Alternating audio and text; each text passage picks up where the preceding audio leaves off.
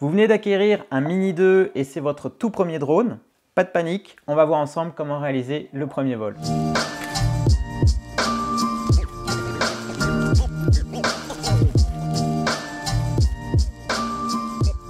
Alors une fois que vous avez sorti tous les éléments de la boîte, la première chose à faire, c'est de mettre en charge les batteries.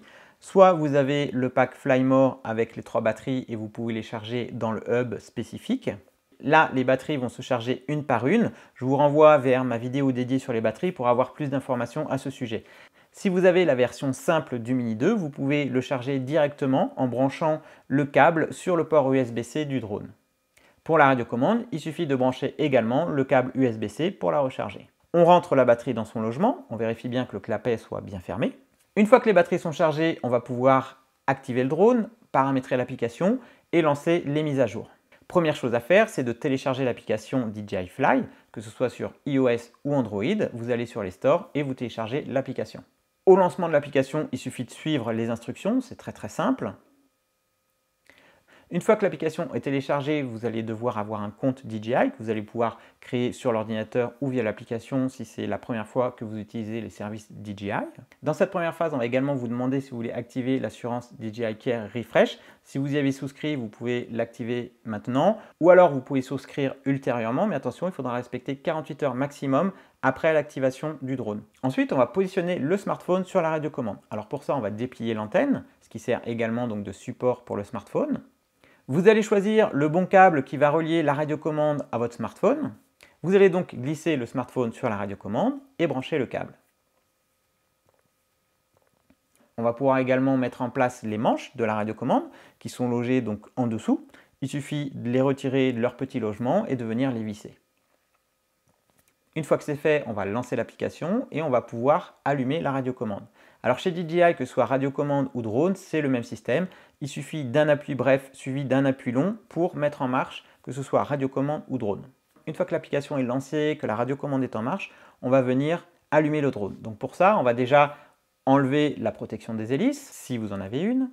On déplie les bras, enlever le capot de nacelle parce que quand le drone démarre, la nacelle fait une initialisation au niveau de la calibration et du coup elle va bouger. Donc euh, il faut enlever le capot sinon les moteurs vont forcer et on vient allumer le drone. Toujours pareil, un appui bref, on relâche et on rappuie de manière plus longue jusqu'à ce que le drone s'allume.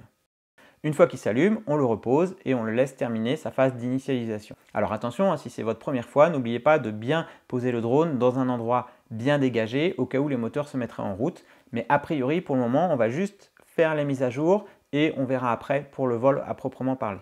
Le drone est tout neuf, il sort de sa boîte, donc d'origine, il va s'associer automatiquement avec la radiocommande. Donc vous allez voir les instructions, encore une fois, qui vont s'afficher dans l'application DJI Fly et qu'il va falloir suivre pas à pas. À ce stade-là, l'application va certainement vous proposer une mise à jour firmware que je vous recommande vivement de faire. Donc pour ça, il faut que le drone ait plus de 50% de batterie pour que la mise à jour puisse se faire de manière complète parce que c'est assez long, le temps de télécharger le firmware, ensuite de le transférer au drone et de redémarrer le drone et de réinitialiser. Voilà, donc il faut avoir de la batterie sur le drone, de la batterie bien sûr sur la radiocommande et sur votre smartphone pour lancer donc cette mise à jour.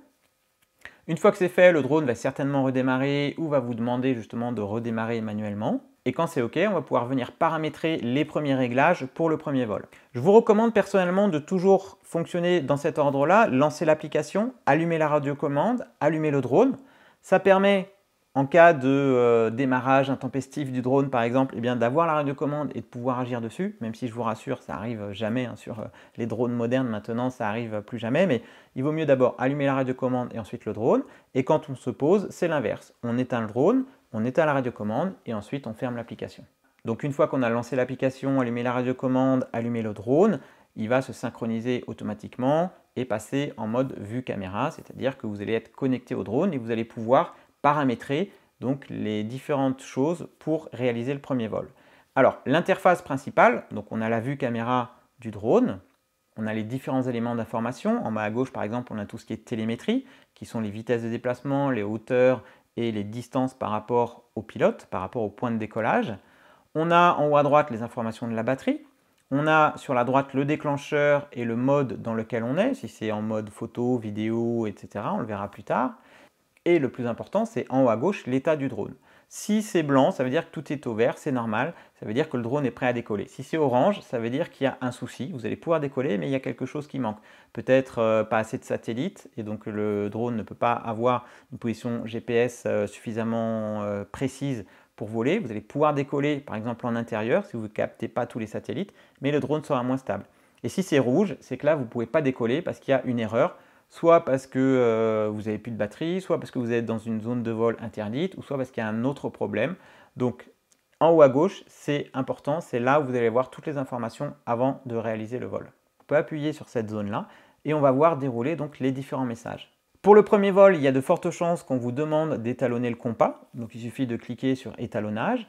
Alors il vaut mieux pas avoir le smartphone et la radiocommande trop proches du drone pour pas avoir d'interférence. Donc une fois que la procédure est lancée, eh vous suivez les instructions. Il faut faire pivoter le drone sur lui-même, donc sur l'axe de lacet, donc l'axe horizontal, donc un 360 complet dans le sens inverse des aiguilles d'une montre. Ensuite, on bascule le drone à l'étape suivante, donc le nez vers le haut, et pareil, on fait un 360 degrés ou plus si on vous le demande. Une fois que l'étalonnage est fait, on peut reposer le drone et se préparer pour décoller. Cet étalonnage il va servir à améliorer la précision au niveau de la captation des satellites. Donc si vous voyagez beaucoup, si vous déplacez beaucoup, il y a de fortes chances que le drone vous le demande de manière automatique. Donc dans ce cas-là, il faut bien sûr le faire. Et si vous voyagez, si vous ne le demandez pas, euh, je vous recommande même de le forcer et avant un décollage, quand vous arrivez dans un nouveau lieu qui est à plus de 300 km, on va dire, de votre précédent vol, de refaire l'étalonnage, même s'il ne vous le demande pas. Alors ce qu'il faut savoir, c'est que le drone, lorsqu'on l'allume, il met un petit peu de temps à capter tous les satellites. On peut le voir sur le voyant qui clignote derrière. Il faut attendre qu'il passe au vert clignotant régulier. S'il a passé de satellites, eh bien du coup, il refusera de décoller. Alors pour le premier vol, je vous déconseille fortement de le faire en intérieur parce que déjà, vous n'allez pas capter autant de satellites que si vous étiez à l'extérieur et donc le drone sera moins stable, il aura une moins bonne position GPS, voire même pas du tout. Et surtout, il y a beaucoup plus d'obstacles et donc on risque d'abîmer le drone. Donc je vous déconseille de le faire en intérieur. Le premier vol, même s'il faut attendre un petit peu, eh bien il faut le faire en extérieur, en espace très dégagé, avec une météo favorable, c'est-à-dire pas de pluie bien sûr, et surtout pas trop de vent. Donc quand je dis pas trop de vent, c'est 20-25 idéalement, ou vent nul pour les premiers vols, même si on va le voir plus tard qu'après on va pouvoir voler dans du vent un tout petit peu plus fort, mais pour les premiers vols, idéalement, c'est conditions calmes. Je vous recommande si possible un landing pad ou quelque chose qui ferait office de surface plane pour poser le drone, pour le faire décoller et se poser, parce que comme il est quand même assez court sur pattes, eh bien euh, la caméra peut toucher l'herbe. Euh, si c'est humide ou si c'est poussiéreux, bah, le, drone il n'est pas très haut et donc les hélices peuvent s'endommager. Donc c'est pour ça qu'il vaut mieux décoller d'une surface plane dédiée. Alors avant de décoller, bien sûr, on fait une petite visite pré-vol du drone, c'est-à-dire qu'on a bien vérifié qu'on a enlevé le capot de la nacelle, on vérifie que les bras sont bien dépliés, que le capot de batterie est bien fermé, que les hélices sont propres et pas endommagées. Je vous recommande également de positionner le drone toujours dans l'axe par rapport à vous, c'est-à-dire que vous, vous allez voir l'arrière du drone. Ça permettra d'être bien dans l'axe par rapport au niveau de la radiocommande. Alors avant le premier vol, on va juste vérifier dans l'application quelques petits paramétrages au niveau de la sécurité. Donc, on va dans l'application, dans le menu en haut à droite, principal, les trois petits points. On va aller sur l'onglet sécurité, on va vérifier les hauteurs réglementaires. On a la hauteur du RTH, le retour à la maison, c'est la fonction automatique qui va permettre au drone de revenir s'il y a une perte de liaison entre la radiocommande et le drone, s'il arrive en fin de batterie, ou si vous l'avez déclenché via la radiocommande parce que vous aviez euh, souhaité que le drone rentre par lui-même. Donc dans ce cas-là, il va effectuer, en fonction de la hauteur à laquelle il est, une prise de hauteur, s'il est en dessous de la valeur qu'on a rentrée, donc par exemple 28 mètres, et eh bien s'il est en dessous de 28 mètres, il va monter à 28 mètres, il va revenir au-dessus du point de décollage et ensuite il va atterrir verticalement. S'il est au-dessus, il restera à la hauteur à laquelle il est avant de revenir. Ça permet d'éviter les obstacles environnants, donc c'est pour ça qu'avant de décoller, je vous conseille de régler cette hauteur à peu près à la hauteur des obstacles maximum que vous avez autour de vous pour que le drone, si vous activez cette fonctionnalité, passe au-dessus. Parce que s'il est plus bas, eh bien lui, il va aller tout droit, il n'a pas de détection d'obstacles, donc il va aller dans les obstacles. Donc en moyenne, le RTH, en général, il est à 25 ou 30 mètres en fonction de l'environnement dans lequel vous volez. La hauteur maximale de vol, c'est 120 mètres par rapport au sol, donc on va la laisser à 120 mètres. Et la distance horizontale maximum, là je vous conseille de la mettre peut-être à 200 mètres pour le premier vol. Ça permet de garder le drone à vue et d'éviter qu'il parte trop loin en cas de bah, mauvais contrôle. En paramétrant donc ces distances maximales, le drone ne pourra pas aller plus loin. Quoi qu'il arrive, que vous appuyez sur les manches ou quoi que ce soit, il n'ira pas plus loin. Donc c'est une sécurité supplémentaire. C'est pour ça que pour le premier vol, je vous conseille par exemple la distance horizontale de le mettre à 150 ou 200 mètres pour garder le drone dans un espace proche de vous, au moins pour les premiers vols. Et puis après, si vous voulez, ben, vous pourrez peut-être augmenter cette distance petit à petit. Dans le menu sécurité, on voit qu'on a l'étalonnage aussi qu'on peut refaire. Alors avant de décoller, il va falloir également avoir une carte SD dans le drone. Donc attention parce que certaines cartes mémoire ne sont pas assez rapides et du coup l'enregistrement va s'arrêter en vidéo, surtout si vous filmez en 4K. DJI recommande les cartes SanDisk U3. Alors U3 c'est pour enregistrer de la 4K de manière fluide. Ça peut être une 64, une 128 Go. Donc il faut insérer cette micro SD à l'arrière du drone. Et dans l'application, vous allez pouvoir la formater, ce qui permet donc de partir sur une carte vierge donc avant chaque vol, je vous conseille de formater la carte SD pour être sûr d'avoir suffisamment d'espace disponible. Dans la partie contrôle, on a différentes choses qu'on peut régler. Le plus important, ça va être le mode de vol. Donc par défaut, il est sur mode 2. Donc ça veut dire que les gaz, c'est-à-dire monter et descendre, c'est sur le manche de gauche. Et avancer et reculer, c'est sur le manche de droite. Donc ça, c'est ce qu'il y a de plus universel à l'heure actuelle. Donc le mode 2, je vous conseille de rester, surtout si c'est votre premier drone, si vous n'avez jamais piloté, de rester en mode 2. C'est par défaut ce qui est euh, donné dans l'application. On va pouvoir également paramétrer les mouvements de rotation de la nacelle pour que ce ne soit pas trop rapide.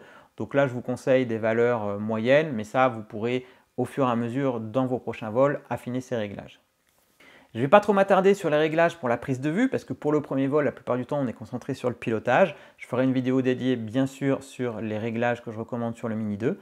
Là, a priori, au niveau sécurité, on est prêt à décoller, donc on va voir maintenant le premier vol. Donc on est en extérieur, on a préparé le drone, on va lancer l'application, allumer la radiocommande, allumer le drone. On va se reculer de 1 ou 2 mètres du drone pour la sécurité et pour avoir une meilleure visibilité. L'idéal, c'est d'avoir le drone dans le même sens que vous, c'est-à-dire de vous regarder l'arrière du drone pour être dans le bon sens par rapport euh, au pilotage du drone. On vérifie que l'espace autour de soi est dégagé, qu'il n'y ait pas trop de vent, qu'il n'y ait personne en l'air. Et on va pouvoir décoller. Donc pour ça, c'est très simple. Sur l'application DJI, on a un petit picto à gauche qui est le décollage. On va donc appuyer dessus et on va avoir un rond sur lequel il va falloir laisser le doigt appuyé.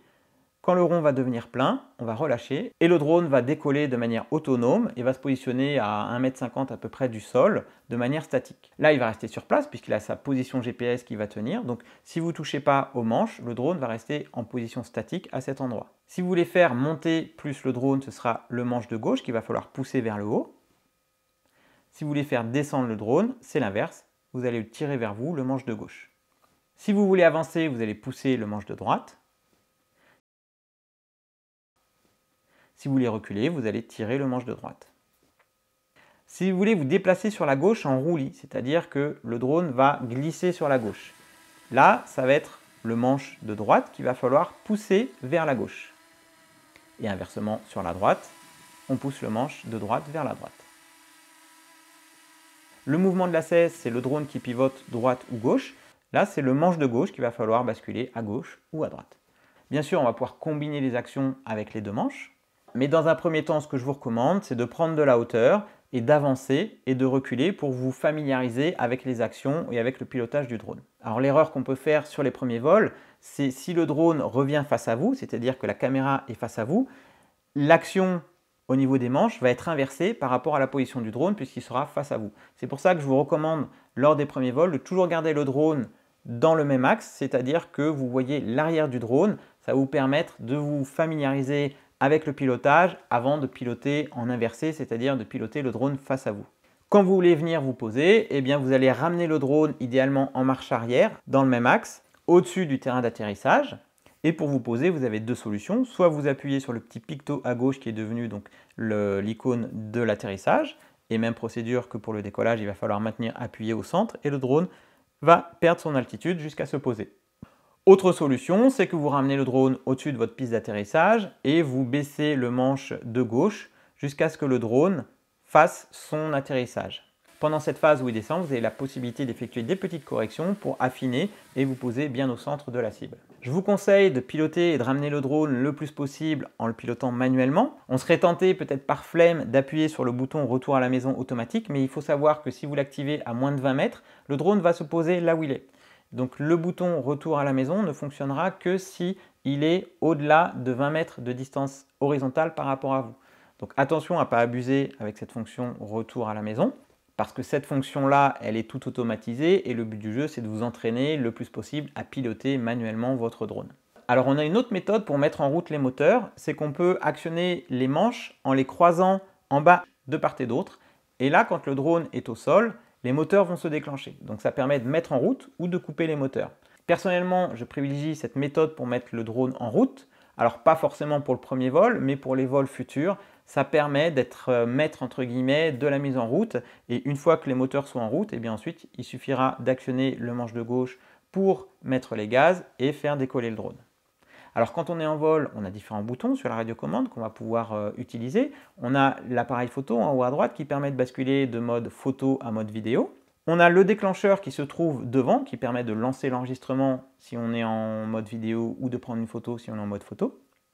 Sur la gauche, on a la molette qui permet d'incliner la caméra vers le bas ou vers le haut. Le bouton FN, qui est le bouton fonction, permet de basculer la caméra de manière horizontale à verticale et de verticale à horizontale de manière rapide, ça fait gagner du temps.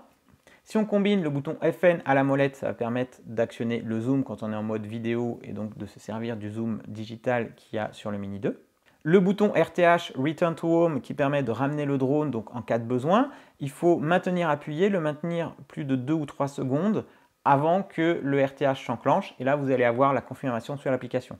Mais attention, je le répète, c'est à moins de 20 mètres, le drone va se poser à l'endroit où il est. Donc le bouton RTH est activé si le drone est à plus de 20 mètres de vous et si par exemple vous ne le voyez plus trop dans quel sens il est ou si vous ne comprenez plus trop au niveau des manches, comment le piloter. Vous pouvez le ramener avec ce bouton-là, mais attention, encore une fois, il faudra que le drone soit à plus de 20 mètres de vous pour qu'il revienne se poser à l'endroit où il a décollé.